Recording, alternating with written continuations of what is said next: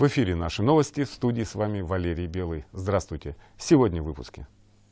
В Игриме неравнодушные граждане приводят улицы поселка в порядок. В Березово прошел рейд по соблюдению масочного режима. Традиция поздравлять граждан пожилого возраста с юбилеями продолжается в Сан-Пауле. Эти и другие новости в материалах наших корреспондентов. В Березово прошел очередной рейд по проверке соблюдения масочного режима. В нем приняли участие представители администрации Березовского района, ОМВД России и Роспотребнадзора. В ходе рейда были проверены десятки магазинов районного центра. В первую очередь проверялось наличие средств индивидуальной защиты, масок и перчаток у персонала, а также информационные листы для населения и специальный журнал учета состояния здоровья сотрудников. По этим параметрам замечаний практически не было. Соблюдают масочный режим и большинство покупателей. В целях недопущения распространения коронавирусной инфекции на территории Березовского района нами совместно значит, с администрацией Роспотребнадзором вот, был проведен рейд по торговым объектам с целью значит, э, соблюдения масочного режима, а также соблюдения э, полутораметровой э, дистанции. В ходе значит, данных рейдов было нами проверено 26 торговых объектов. Вот, все торговые объекты обеспечены значит, масками. Вот, граждане, которые заходят в магазины для приобретения продуктов, также могут, э, согласно, э, ну как маски себе тоже да, обеспечить. Вот, также значит, есть э, дезинфицирующие средства, вот, которые доступны. Вот, все граждане у нас э, стараются вот, э, дезинфицировать, когда заходят, вот, соблюдают масочный режим. В Саран-Пауле 1 июня глава сельского поселения Павел Артеев поздравил с 80-летним юбилеем жительницу села Агафью Ивановну Хозяинову. О ней и ее воспоминаниях в репортаже Ирины Будниковой. 23 апреля в городе Тюмени Агафья Ивановна Хозяинова в кругу близких родственников отмечала свой 80-летний юбилей, а по приезду в Саран-Пауль принимает поздравления от главы администрации Павла Артеева. Пришли поздравить вас. Спасибо, не забыли. С прошедшим, но юбилеем. Ну, вас здесь не было, но... Никогда, не, никогда не забуду этот юбилей. 60 лет хотела справить, угу. муж умер. 80, думаю, обязательно справлю. 80 это коронавирус. Ну, у нас 7 человек сидели. Ну ничего, угу. когда это все закончится, отпразднуйте. Спасибо за Днем спасибо, не забывайте. Самое главное, крепкого здоровья вам. Сегодня мы поздравили с 80-летним э, юбилеем Агафью Ивановну Хозяинову, э, достойный житель нашего сельского поселения Саран-Пауль, которая сохраняет традиции, историю. И в администрации поселения есть такая добрая традиция поздравлять наших юбиляров э, с днем рождения, с наилучшими пожеланиями здоровья, хорошего настроения, успехов, радости. У Агафьи и ее мужа Федора двое детей, четверо внуков и трое правнуков. Они проживают в Тюмени, и ежегодно она ездит к ним в гости. Агафья Ивановна большая мастерица, владеет техникой лоскутного шитья и рассказывает, что для таких изделий особым украшением является добавление кружева. Сейчас занимается плетением из нитей. В начале лета на ее небольшом участке уже свои места заняли саженцы помидор, взошли огурцы. Скоро будут высажены другие овощные культуры. Агафья Ивановна – ребенок войны. Ее папа Иван Трофимович Вакуев пропал без вести в мае 1942 года. И несмотря на то, что ей в День Победы было всего пять лет, воспоминания об этом сохранились на всю жизнь. Э, ну, сказали, что война кончилась. Мама пошла на работу, а сказали, война кончилась. Она вернулась обратно переодеться, чтобы на митинг. Переодевалась, пока и митинг, пошла, и митинг-то уже кончился. Она обратно пришла, в соседях жили. Это Надя Попова, вот ее сейчас нету, у Нади Попова и мать. А мама к ним пошла, она сильно красиво пела. А муж играл на гармошке. И вот они как с утра начали петь, он играл, а они пели. А весь день, а я думаю, хоть бы дольше. Знаете, тогда хлеба нету, ничего нету. А он ездил на рыбалку, чебаков, видимо, наловил. И вот на Железке она без перестана все варила, вытаскивает, видимо, сразу на стол. А мы, с, с, Коля был у этого, у Нади Поповой, брат со мной одного года, Коля. Атанзеев. И вот мы с ним весь день носились, бегали, бегали, бегали. Только побегаем, заходим, тетя Шура говорит, ну что, побегали? Побегали. Давайте ни кости, ничего не боялись, пять лет. Ели эту рыбу? А говорит, я уж хлебом-то вас кормить не буду, а давай рыбой. И вот эту рыбу мы ели, как не знаешь что. Вот тогда День Победы никогда не забудешь. Ирина Будникова, авторское телевидение Березова, Саран-Пауль. Продолжаем наши новости.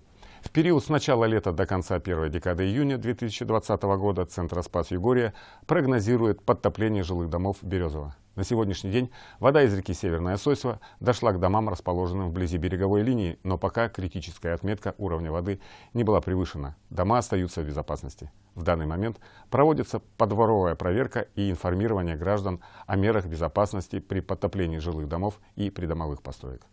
В соответствии с прогнозом Центроспас Югория э,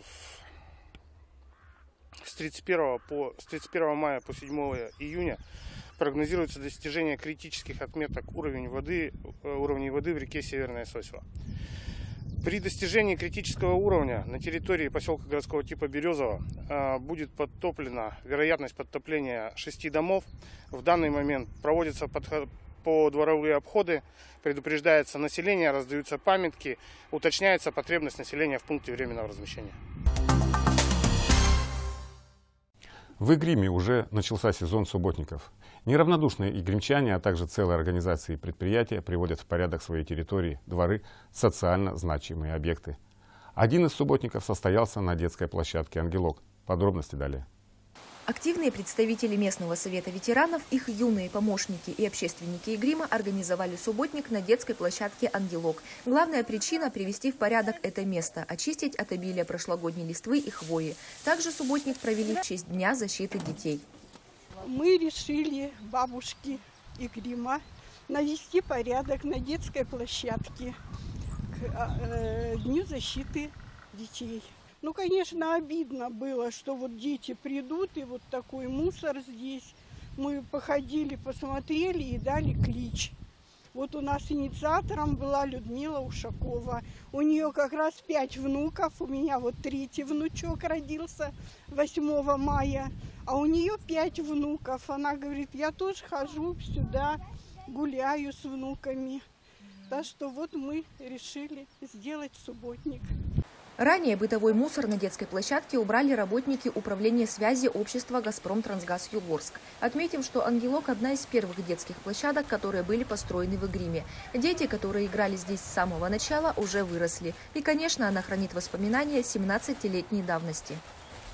17 лет назад у меня внучке было два года, и я не знала, куда с ней идти гулять. Вот. Мы ходили в детский сад э, «Звездочка», на площадку, но нам сказали, только можно в сон час, когда детей нет. Я тогда обратилась к депутату к Лидии Васильевне Молебной. Она мне посоветовала собрать подписи мамочек. Я собрала подписи, 300 человек, 300 мамочек подписались. Вот. И нас, унесла ей, но она там уже к руководству, и на следующее лето появилась у нас вот эта площадка. Мы были очень рады. Также гримчане высказали пожелание, чтобы площадка по возможности обновлялась. Объекты на ней нужно покрасить, поставить новые качели взамен сломанных. Неравнодушные жители общими усилиями привели в порядок место, где гуляют и играют их дети и внуки. В процессе субботника собрали несколько десятков мешков прошлогодних листьев.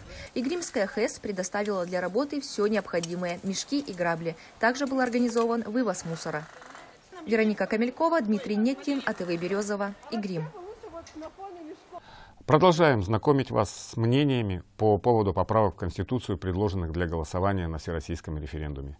Несколько из них касаются здравоохранения и здоровья граждан в частности. Медицина касается всех и каждого, особенно в настоящее время. И вопрос поправок в Конституцию э, от здравоохранения, которые были внесены, э, одна из них это создание условий для развития здорового образа жизни и, что самое важное, это ответственности за свое здоровье гражданина России. Я думаю, это важный важная поправка. Если она будет принята, э, у людей будет мотивация к занятию э, своим здоровьем, э, будет мотивация к прохождению диспансеризации, в результате которой мы своевременно обнаруживаем опасные хронические заболевания. Ну и только от этого выиграет все население. Я думаю, что такую поправку нужно принять общенародно. Еще одна поправка в Конституцию касается адресной социальной помощи. Предлагается придать ей статус государственной гарантии. Поправка может войти в 78-ю статью Основного закона Российской Федерации. Обновленная Конституция расшифровывает, что такое социальное государство.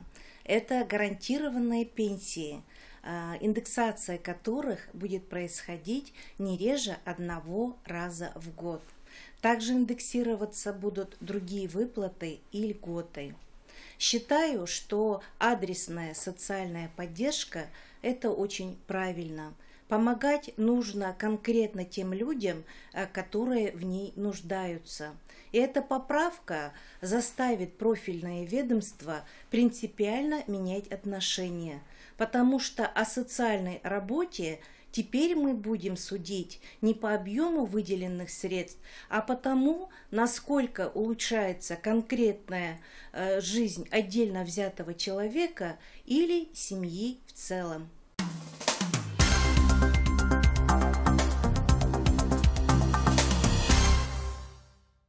Соблюдение мер безопасности на воде особенно актуально для населенных пунктов, где нет специально оборудованных мест для купания.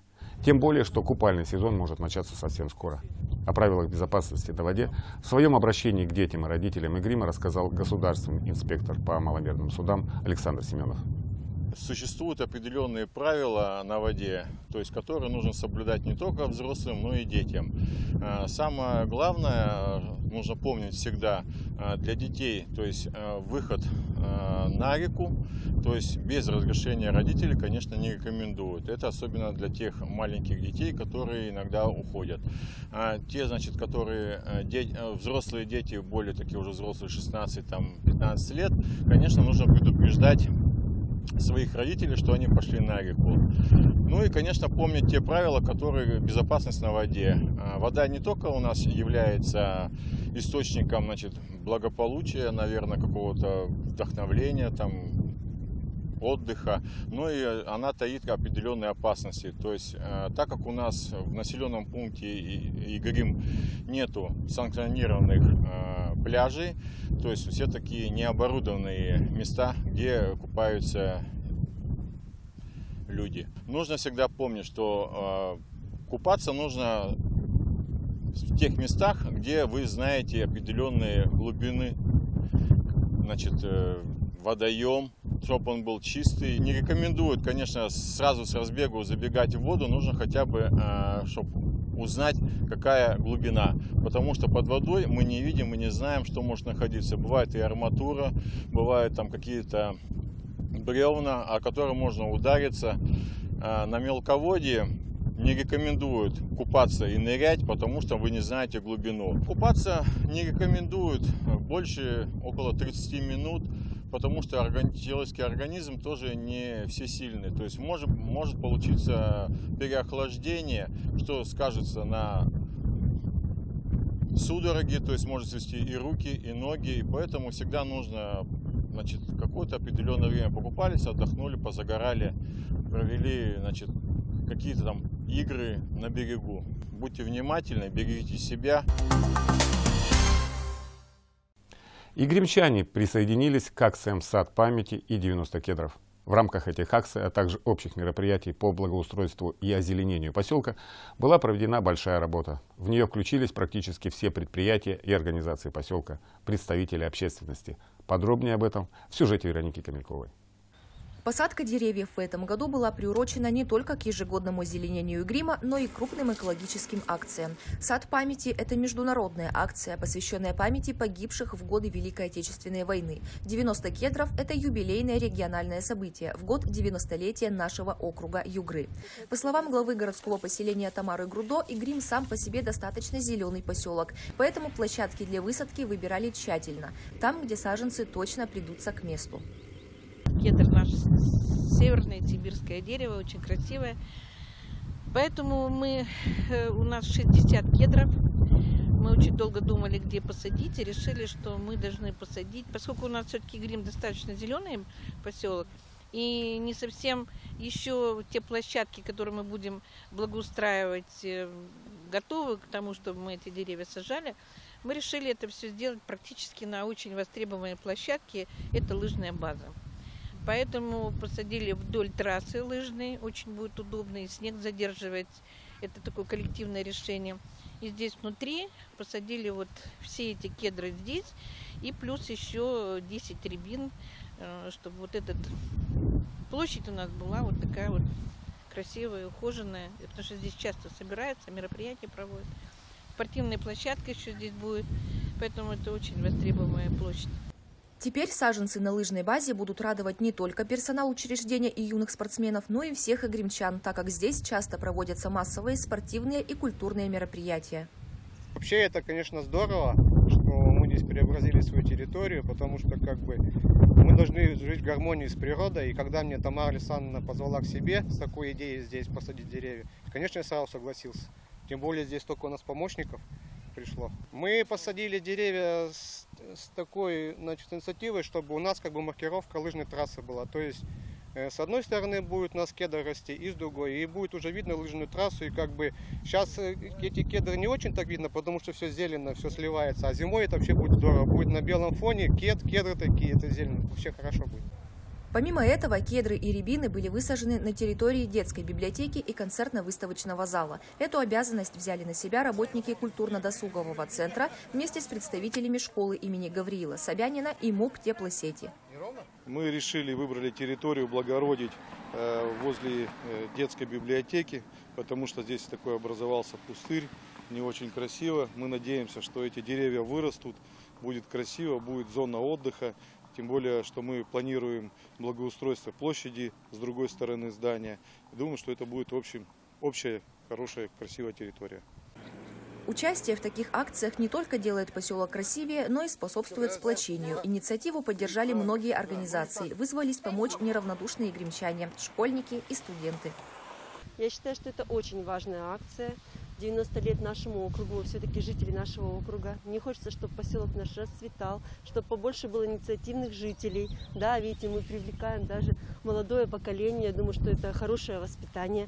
Но и мы будем наслаждаться тем, насколько эти кедры будут э, расти, мужать, да, у нас будет красивая лыжная трасса, мы будем приходить сюда на спортивные соревнования и знать, что какую-то частичку, да, мы внесли в вот, в эту красоту.